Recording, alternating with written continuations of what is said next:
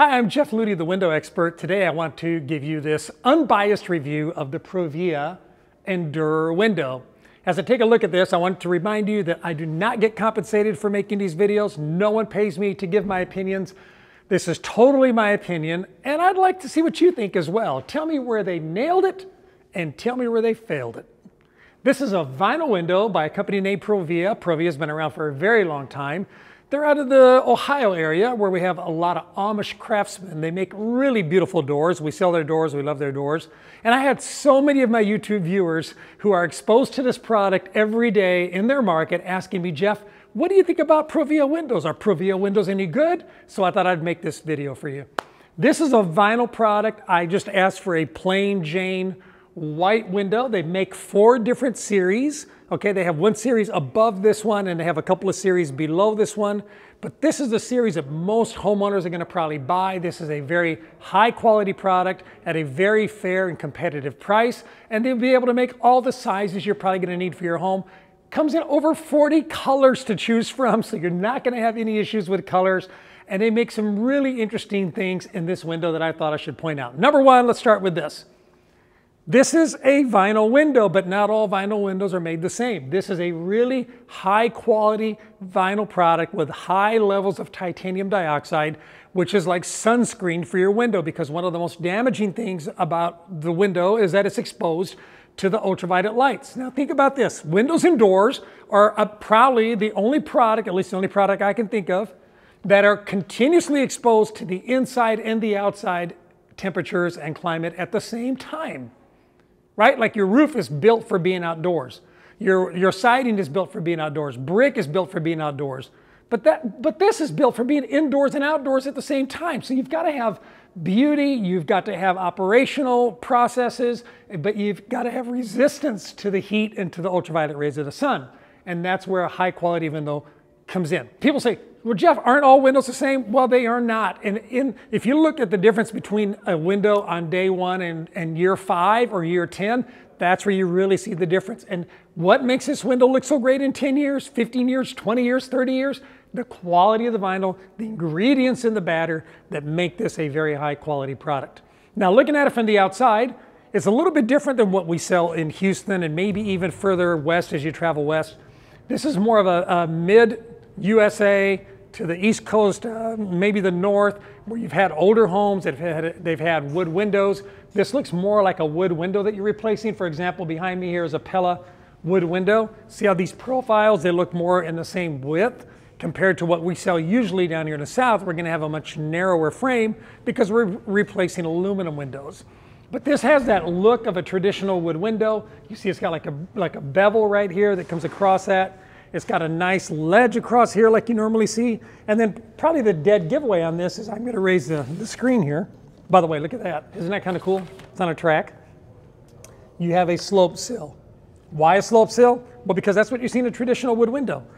so this is designed to look like a wood window, even though it'll function in, in any particular setting you have it in.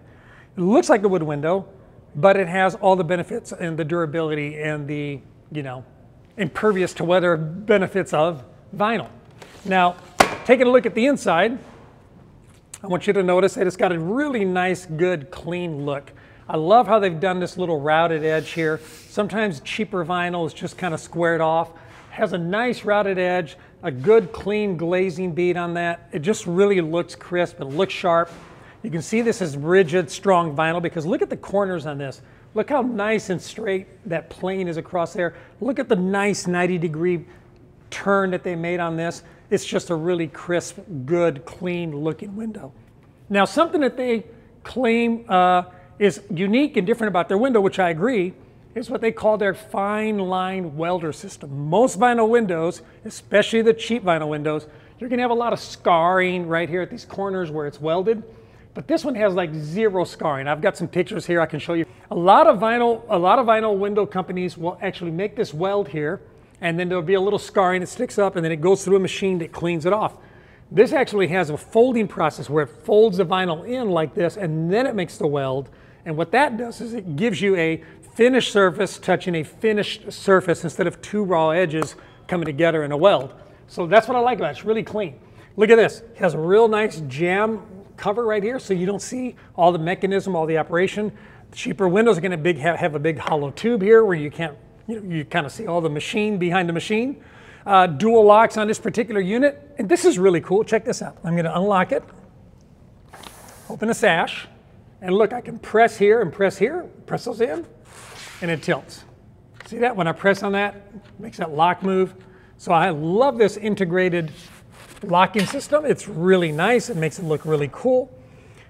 But you say, Jeff, what about these locks? Well, these locks come in about eight different colors to match whatever window interior you have.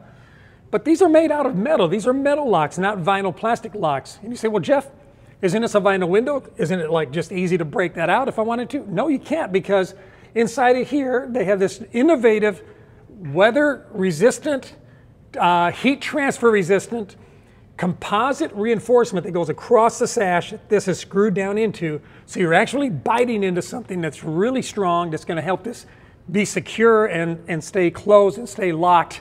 Um, helps you be safe. Now, if you look at the window too, you can see that obviously it has a couple other little features. These I call vent latches. Uh, some people used to call this a night latch until they got sued because people thought, oh, this, this helps me be safe at night. I can just open my window like that, nobody can break in. Not true, these are just plastic. They can break off easily. So no, I would not call these a security latch at all. It just allows for a little bit of venting, okay? But maybe your cat can't squeeze his head out of there. That's really the idea behind that. You've got those. Also, you notice that they have the grids between the glass on this unit. This is a sculpted grid. I can get the grids between the glass like this, which is good and it's easy for cleaning and keeping the window clean. Or I can get them on the surface. We call those an SDL which gives it a more realistic, more robust, richer look. Now those are more expensive, but it is an option for you if you want that. This window, not only does it tilt like I showed you, but also the top comes down. This is a double hung window, meaning the top and the bottom both operate. And while I'm here, I want to go ahead and point out the weather stripping to you.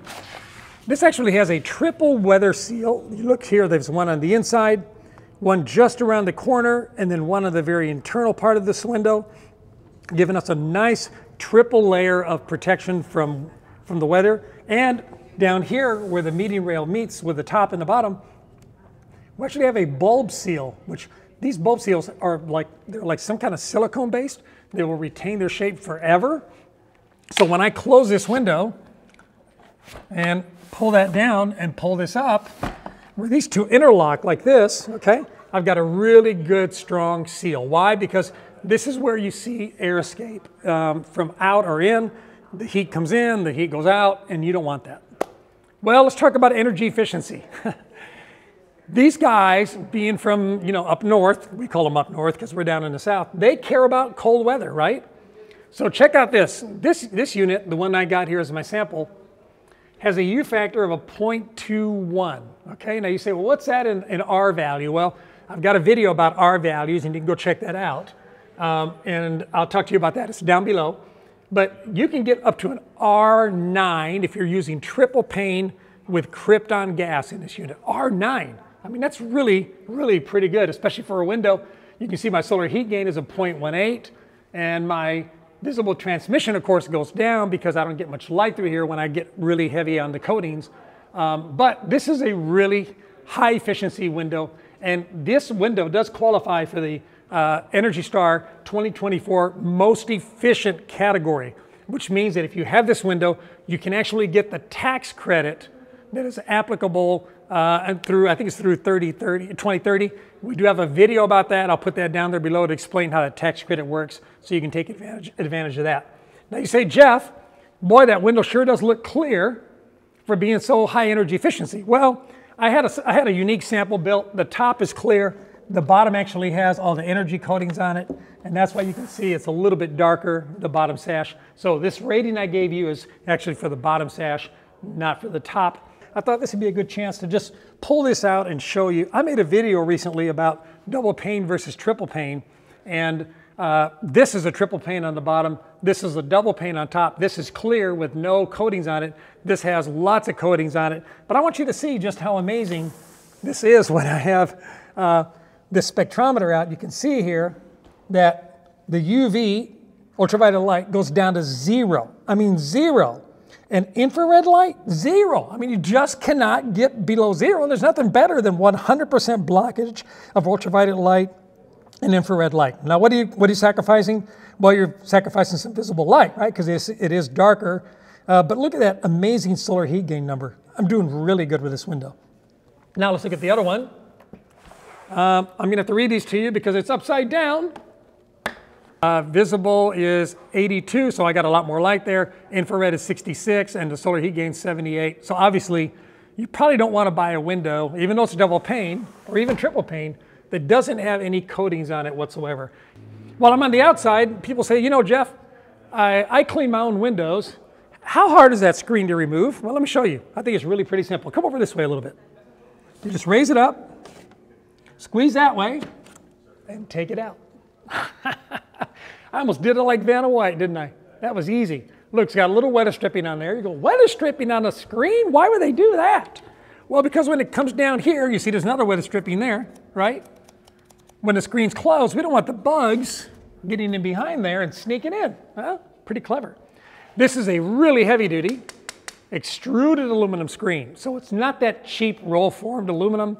And I like how it's got this little pull rail right here, this little handle, so that on the inside I have something to lift when I want to lift my screen. I don't have to struggle for it or try to find my way around there. But look at that, just comes out and just like that, it goes back in. So some people say, Jeff, I don't, I don't put my screens in most of the year. I only put them in, you know, when the weather's beautiful. Well, in this case, that's what you can do, right? You just put the screen in when you want it, take it out when you don't. This is a half screen. Being a double hung window, you can also get it with a full screen. That way you can open the top and the bottom simultaneously. Uh, am I a big fan of double hung? I'm not a big fan of double hung. In this case, I think it's great. I think it depends on your application. But I think this window, if you're gonna have a, a double hung, I love how the screen can go to the top or the screen can go to the bottom, put it where you want it, and uh, take it off easily. I think that's really pretty cool. What do you think of this window? Do you like it? You want to know more about it?